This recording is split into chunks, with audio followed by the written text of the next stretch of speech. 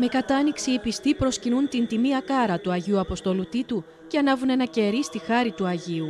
Πρόκειται για τον πρώτο επίσκοπο της Κρήτης, έναν Άγιο που θεωρούν προστάτη τους. Είναι μεγάλη γιορτή. Ξέρω ότι ήταν ο πρώτος επίσκοπος Κρήτης, ε, με, την, με τον Απόστολο Παύλο, τότε που έκανε την, την περιοδία «Κηρύτε το Ευαγγέλιο». Είναι μεγάλη γιορτή, τιμή σας για την Κρήτη, χρόνια μας πολλά. Είναι ο ναός ο οποίος έχει μεγάλη ιστορία και γι' αυτό τον, θα πρέπει να τον προσέχουμε πάρα πολύ και που δίνει πάρα πολύ μεγάλη αξία στη, στην πόλη μας και στην περιοχή. Είναι ένας ιεράρχης ο οποίος είναι κριτικός ε, και έτσι τιμάει τον τόπο μας σε αυτό εδώ το μέρος που βρισκόμαστε, στο Ηράκλειο.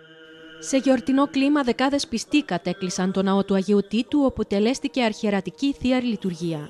Η ατμόσφαιρα ήταν συγκινησιακά φορτισμένη, καθώς η σημερινή μέρα θεωρείται σημαντική για το Ηράκλειο, ενώ οι πιστοί δεν παρέλειψαν να προσευχηθούν και για το δοκιμαζόμενο λαό της Ουκρανίας.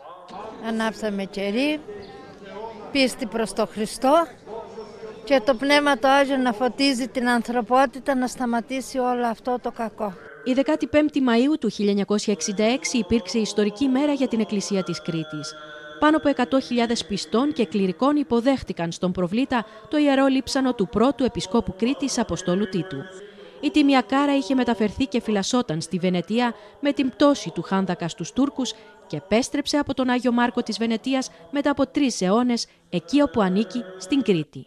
Ας πούμε όλοι από καρδιάς, ας είναι αιώνιο το μνημόσυνο εκείνων των ευλογημένων προγόνων μας που πριν από 56 χρόνια έφεραν πίσω από την Βενετία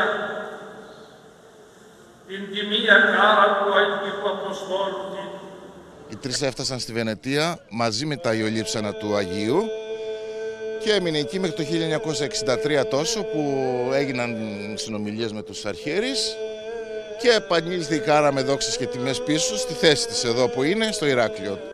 Η επιστροφή της τιμίας κάρας τιμάται 56 χρόνια μετά το ιστορικό γεγονός.